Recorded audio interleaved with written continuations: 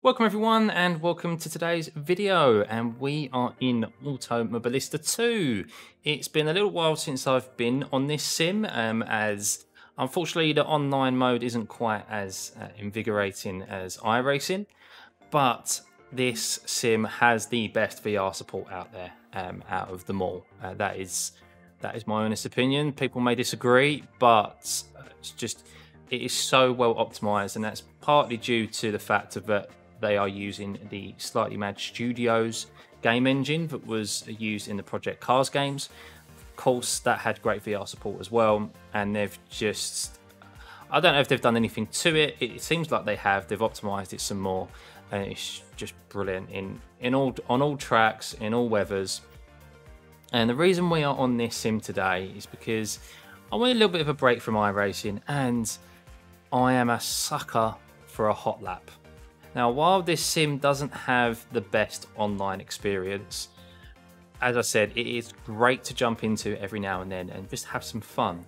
And today's video is no different because what we are doing is we are taking the Formula Ultimate, which is technically the latest Formula One car uh, with the halo and all, on the Nordschleife, or more aptly around the Nordschleife and we are going to hot lap and we are going to try and make our way up the leaderboard and see how far up we can get. Now, I've run a couple of laps around here already, um, just out of fun.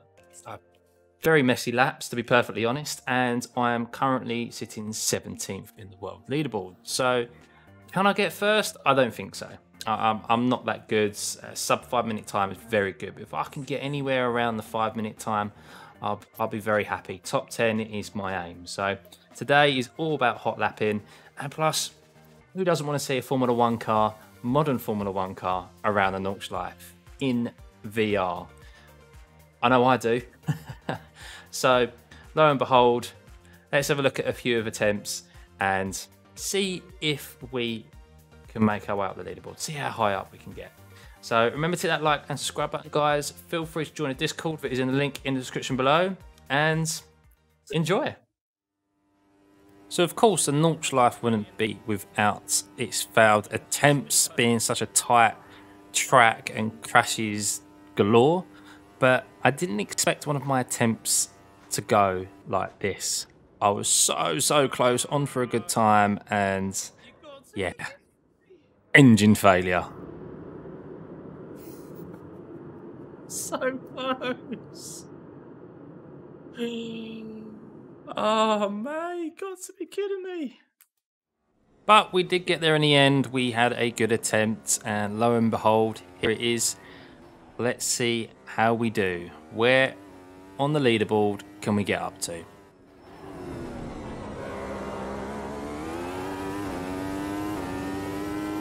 Alright. Let's do this.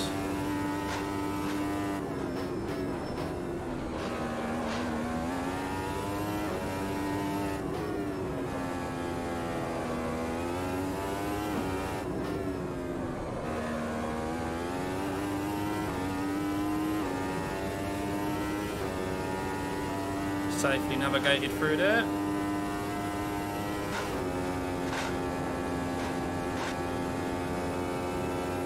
Flat out.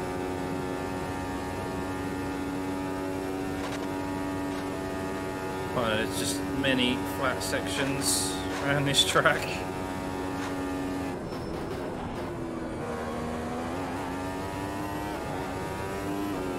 This car is just phenomenal around here.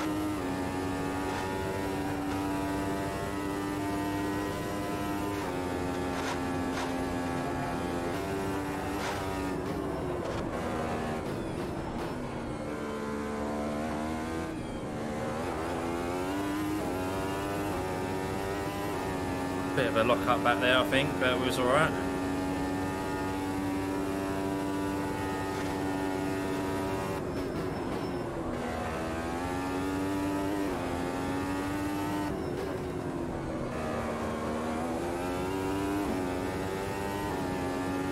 I love this section here. Triple right-handers, flat out all the way through, a bit wide.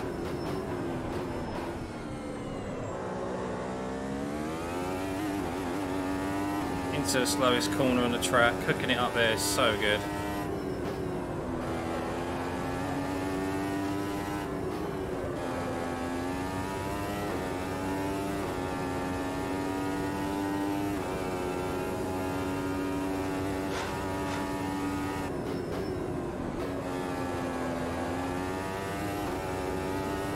It bumped me back through there. You don't realise how bumpy this track is until you drive an F1 car around it.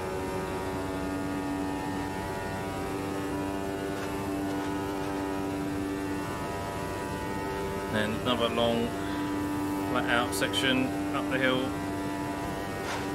What hill this is, keeping it in seventh. I want to be in eighth, otherwise we'll lose speed.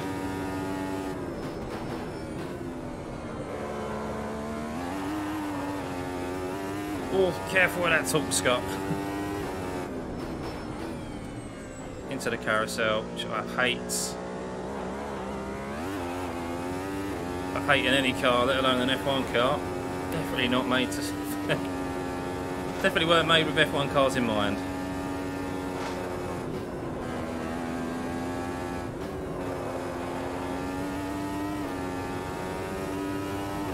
These next few corners just go past you so quickly. Ain't got time to think.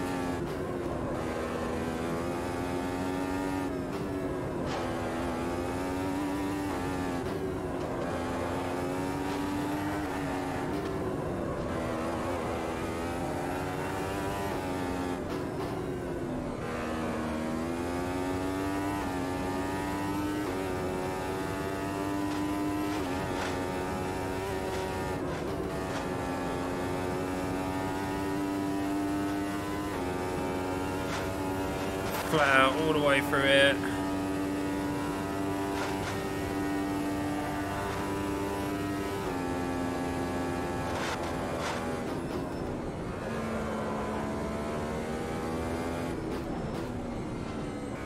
Into the second carousel, more of a mini one.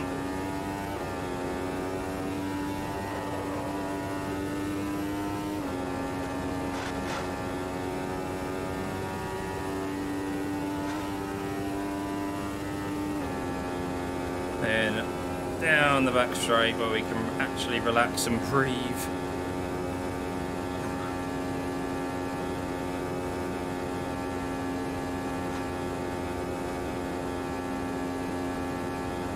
Over 300 kilometers an hour. Don't know what that is in miles per hour. It's fast though.